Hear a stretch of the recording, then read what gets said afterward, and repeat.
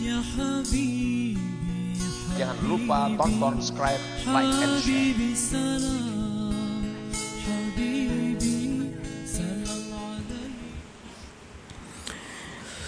بسم الله الرحمن الرحيم الحمد لله الذي وفق من شاء من عباده فسهل سبيله لخدمته وطاعته أشهد أن لا إله إلا الله وحده لا شريك له في حكمه وقضائه وأشهد أن سيدنا محمدا عبده ورسوله وخير عباده. صلى الله وسلم على سيدنا محمد أحب أحبابه وعلى آله وأصحابه وذريته وأتباعه. صلاة وسلاما دائمين متلازمين إلى يوم لقائه أما بعد yang kita hormati dan kita cintai para habaib para alim ulama para muhibbin hadirin hadirat rahimakumullah Alhamdulillah kita panjatkan puji syukur kehadirat Allah yang telah mengumpulkan kita pada malam ini di tempat yang penuh berkah dan rahmah. Salawat dan salam kita haturkan kepada junjungan kita Nabi besar Muhammad sallallahu alaihi wasallam dan kepada seluruh keluarga, para sahabat, zurriyat dan pengikut beliau sampai hari kiamat. Para muhibbin rahimakumullah Al-hikmatus sadisatu wal khamsun min al-hikamil ataiyah Qala al-imam Ahmad ibn Ata'illah Sakandari rahimahullah wa nafa'ana bi ulumih Hikmah yang ke-56 dari Al-Hikam berkata Imam Ahmad ibnu Athaillah As-Sakandari rahimahullah. La tafrahu ta'atu li'annaha barazat minka.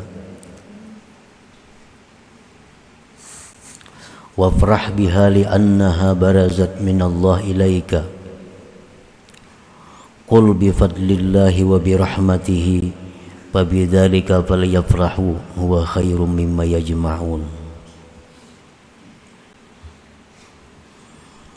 yang artinya janganlah menggembirakan akan engkau oleh taat. La nafiyah bimaknan nahi. Janganlah menggembirakan akan engkau oleh taat. Karena itu taat timbul dari diri engkau dan gembiralah engkau dengan taat. Karena taat itu timbulnya dari Allah kepada engkau. Allah subhanahu wa ta'ala berfirman Kul katakan wahai Rasul Bifadlillah wa birahmatihi Fabidhalika falyafrahu. Dengan anugerah Allah Dengan rahmat Allah maka dengan demikianlah mereka itu hendaknya bergembira. Yang demikian itu rahmat dan anugerah Allah lebih baik dari apa yang mereka kumpulkan daripada harta dan benda duniawi. Nah para muhibbin rahimakumullah. Kalimat taat apabila mutlak maksudnya adalah taat kepada Allah. Karena kalimat taat ini bisa dipakaikan untuk Rasul sallallahu alaihi wasallam, taat kepada Rasulullah. Bisa kalimat taat ini dipakaikan kepada guru, taat kepada guru bisa kalimat taat itu dipakaikan kepada orang tua, taat kepada orang tua, taat kepada suami, taat kepada pemerintah, pemimpin. Nah, oleh karena itu taat ini lebih umum daripada ibadah. Kalau ibadah itu hanya mutlak untuk Allah. Marilah kita beribadah kepada Allah. Kada boleh kita beribadah kepada Rasulullah. Kada boleh kita beribadah kepada orang tua. Tapi kalau taat, nah itu lebih umum.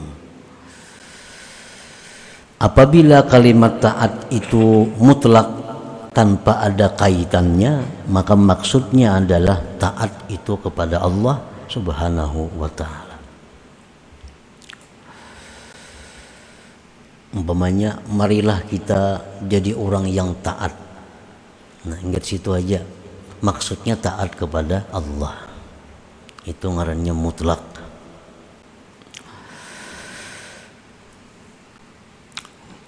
Di dalam hikmah yang sebelumnya dijelaskan tentang banyaknya kebaikan yang terkandung di dalam taat itu. Nah, oleh karena banyaknya kebaikan yang terkandung di dalam taat itu sehingga orang-orang yang melakukan taat itu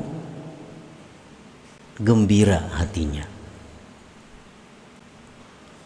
Orang-orang yang melakukan taat itu senang hatinya. Karena di dalam taat itu sangat banyak terkandung kebaikan-kebaikan baik duniawi atau ukhrawi. Nah, di dalam hikmah yang ke-56 ini Imam Ahmad Ibnu Athaillah memberikan petunjuk penjelasan kepada kita bahwa janganlah kamu gembira karena melakukan sebuah taat. Apabila engkau pandang taat itu dari diri engkau. Bergembiralah dengan taat apabila kamu pandang bahwa taat itu merupakan anugerah Allah Subhanahu wa taala. Nah oleh karena itu al parahu taat kismani kismun mazmum wa kismun mahmud. Gembira dengan sebuah taat itu ada dua. Ada gembira yang tercela ada gembira yang terpuji. Jadi artinya senang dengan taat yang dilakukan itu kadang mesti baik. Ada senang dengan taat tetapi jadinya dosa. Ada gembira dengan taat yang jadinya adalah menambah pahala. Kismani kismun mazmum wa kismun mahmud. Al mazmumu bermula yang dicela kal farahi ta'at min haitsu zuhuruha min nafsihi wa haulihi wa quwwatihi. Wa huwa min al wa huwa al ujbul muhbitu lit ta'at wal ujbu mamba'us syurur. Bermula yang dicela seperti gembira dengan taat dari sekira-kira timbulnya taat itu daripada diri dan daya upayanya. Ini kasukaan kawa puasa empat bulan berturut-turut. Kasukaan kawa puasa. Nah itu tercela. Inya kasukaan kawa sembahyang semalaman itu seratus rakaat suka banainya. Kawa sembahyang tuh 100 rakaat. Nah sukanya itu kada boleh. Tercela. Inya suka benar kau umrah sehari tiga kali. Sukanya gembira. Nah itu tercela. Karena itu termasuk ujub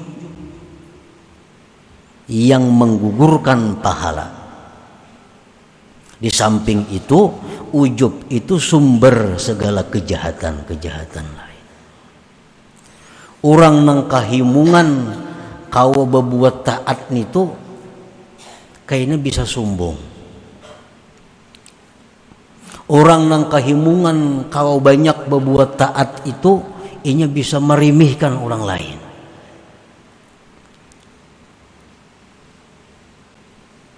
Nah jadi himung gembira suka kawa melakukan sebuah taat itu adalah sesuatu perbuatan yang dicela yang kada baik artinya.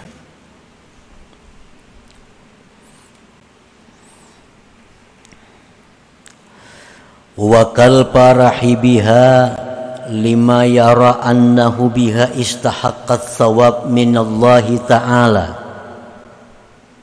dan yang dicela pula seperti dia gembira dengan taat karena sesuatu yang dia lihat bahwa dia dengan taat itu berhak mendapatkan pahala dari Allah. Ini pun tercela juga. Inya kasukaan kawa sembahyang 100 rakaat. Lalu inya merasa asa berhak dapat surga nah. Ini dicela kada boleh. Inya kawa sembahyang semalaman 100 rakaat. Lalu inya merasa ada hak masuk surga. Nah ini gembira yang dilarang, yang dicela. Dan contoh lagi kiaskan taat-taat yang lain pada sembahyang itu. Ini misal kawa puasa di hari yang sangat panas sekian bulan puasanya lalu inya gembira kawa puasa itu lalu inya merasa asa dapat surga dari Allah Nah, ini tercela.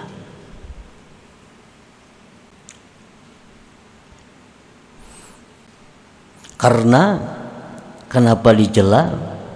Karena bagaimanapun ibadah yang kita lakukan itu betapapun banyaknya, betapapun beratnya itu kada akan sanggup untuk ditukarkan dengan surga Allah Subhanahu wa taala. Rasulullah sallallahu alaihi wasallam bersabda, "La yudkhila ahadan amaluhul jannata." Tidaklah bisa memasukkan akan seseorang amal ibadahnya itu akan surga. Ujar sahabat, "Qalu wala anta ya Rasulullah?" Pian pangka itu jualah amal pian tuh kada kawala memasukkan pian ke surga kalau wala ana amalku pun ujar nabi kada kawa memasukkan aku ke surga illa ayataghammadani Allahu birahmatih kecuali bahwa Allah melimpahkan rahmatnya kepadaku nah para muhibbin rahimakumullah jadi amun kita kahimungan kawat berbuat taat lalu kita asa dapat surga, nah itu tercela.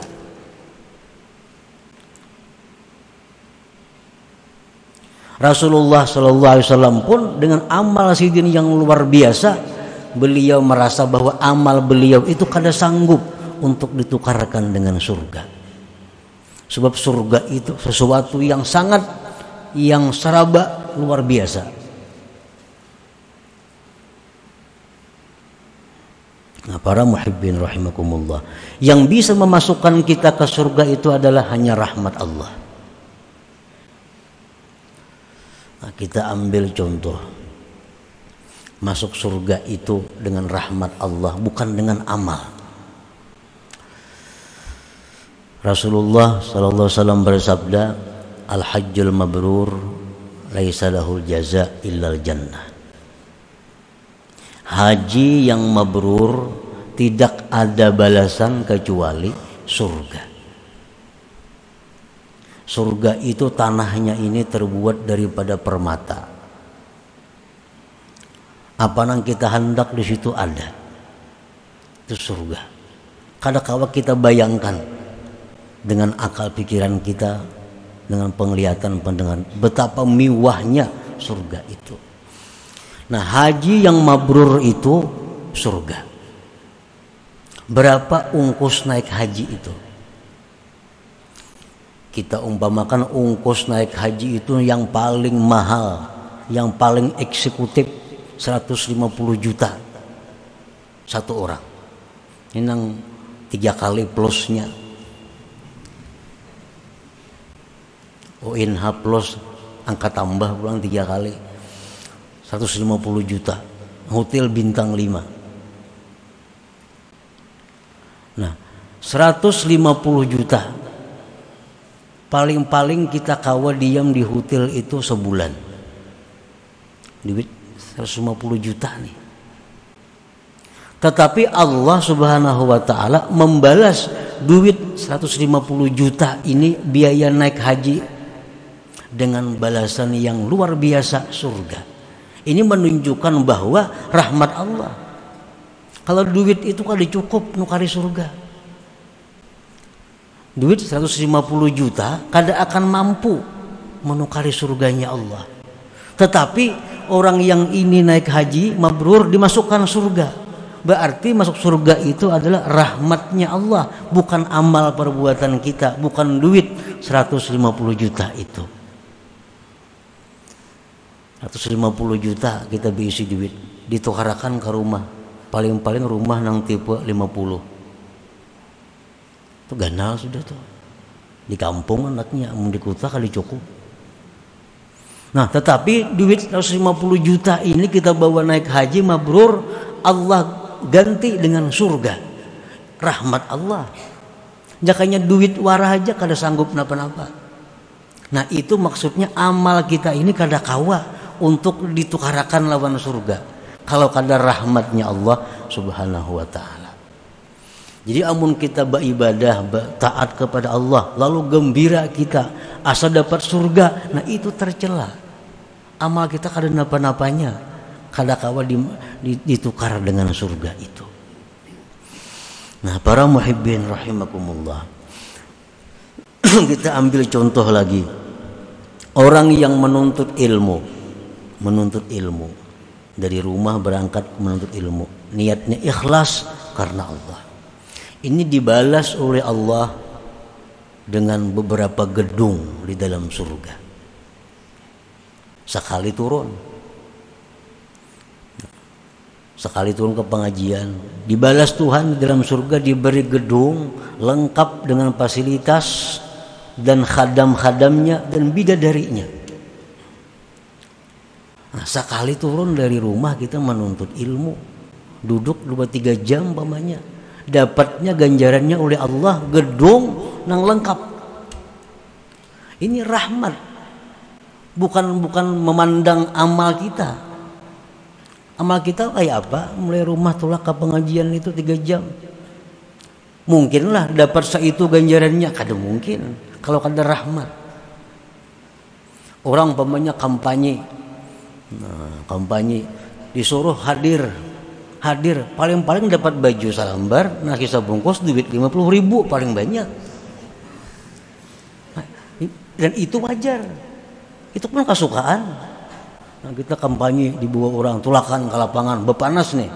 Nah, dapat nasi bungkus dapat aqua baju salambar baju kaos duit 50 ribu. Itulah balasan yang wajar. Itu balasan yang wajar. Tapi kalau orang tolak kampanye tolak kampanye. Diberi oleh nang kampanye ini. Sebuah mobil diberi. Nah ini rahmat daripada nang kampanye ini. Bukan balasan yang wajar itu.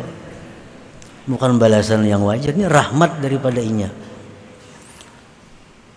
Nah para muhibbin rahimakumullah. Jadi balasan-balasan Allah yang diberikan kepada kita ini adalah semata-mata rahmat Allah. Kada seimbang dengan apa yang kita kerjakan kita sembahyang dua rakaat sunat subuh lima menit cukup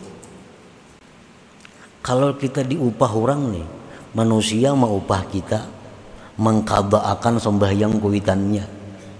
Nah kada akan kuitan sembahyang abahku. Kada akan sehari semalaman lima waktu. Paling seratus ribu beri itu banyak. 17 rakaat sehari semalaman kada akan sidin karena sini ada kada sembahyang lagi hidup. Nah seratus ribu. Itulah ganjaran nang cocok karena tapi apa? Ya 17 rakaat itu seratus ribu itu cocok ganjarannya. Tetapi sembahyang dua rakaat sunat subuh itu Allah membalas ganjaran dengan nilainya dunia dan isinya. Nah kada rahmat kan itu? Rahmat. Kalau dua rakaat kada kau ditukarakan lawan itu kali cukup tapi karena rahmat Allah. Nah jadi kalau kita beribadah kepada Allah gembira kita lalu merasa berhak nah itu salah. Salah.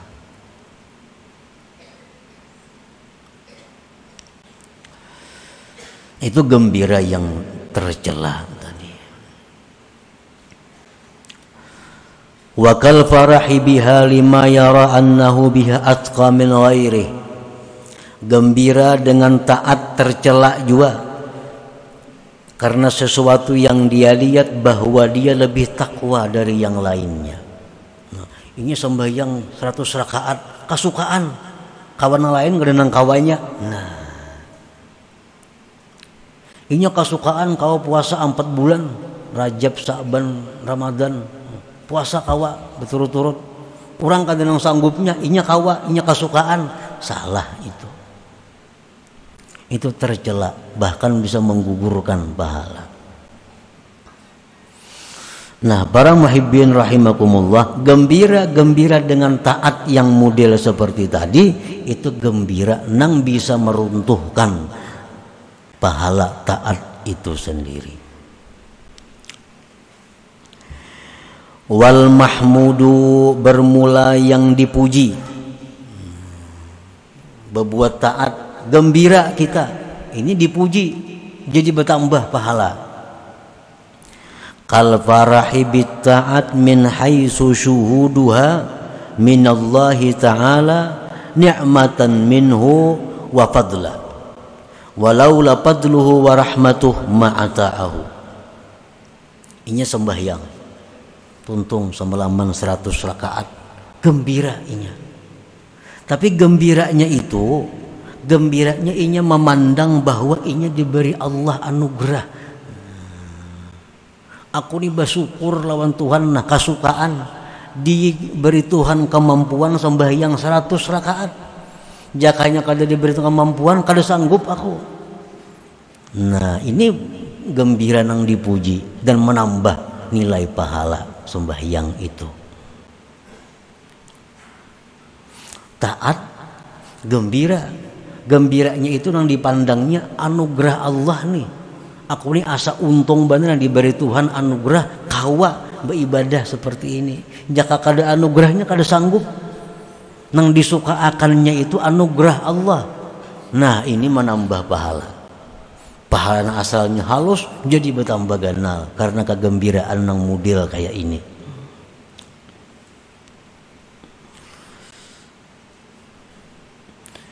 قال فرحي بالطاعة من حيث شهودها من الله تعالى نعمة منه وفضلا ولولا فضله ورحمته ما عطاه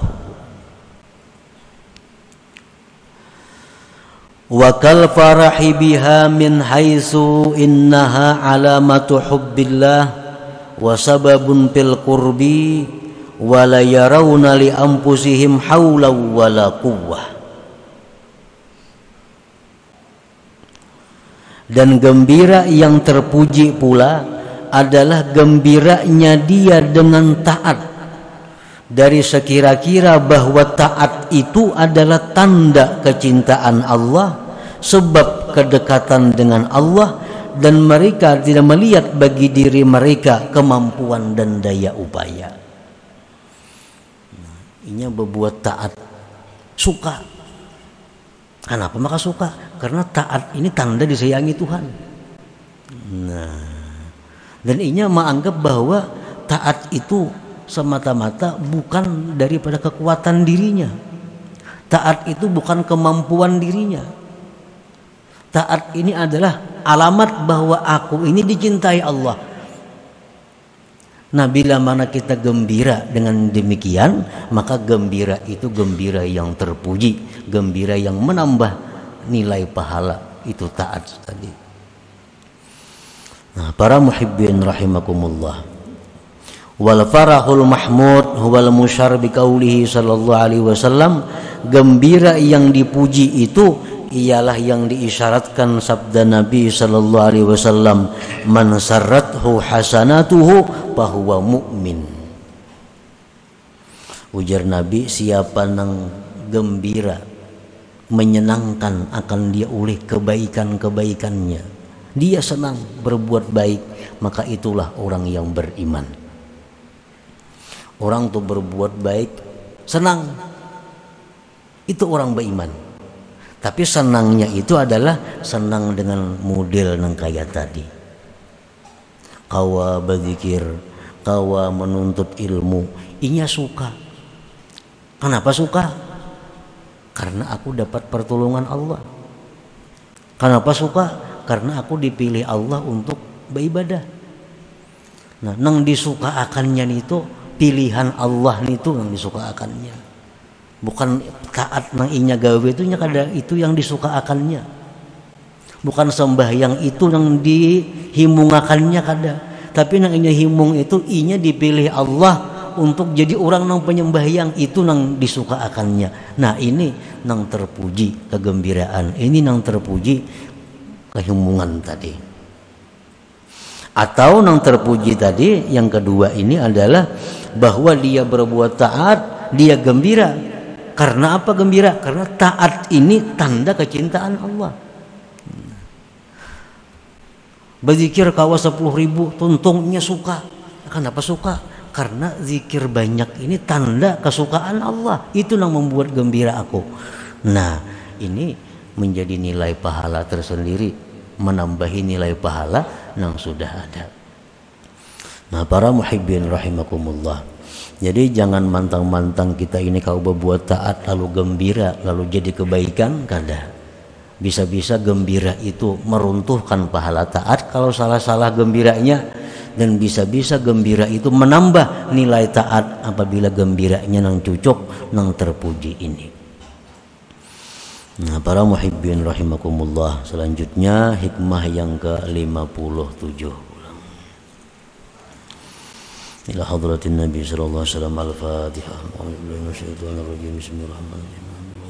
الرحمن الرحمن الرحيم إياك نعبد وإياك نستعين. إهدنا الصراط المستقيم. يا الله بها يا الله بها يا الله بحسن الخاتمة. يا الله بها يا الله بها. الله بحسن الخاتمة. يا الله بها يا الله بها يا الله بحسن الخاتمة فيا أيها الرجل منه شفاعة صلوا عليه وسلموا تسليما.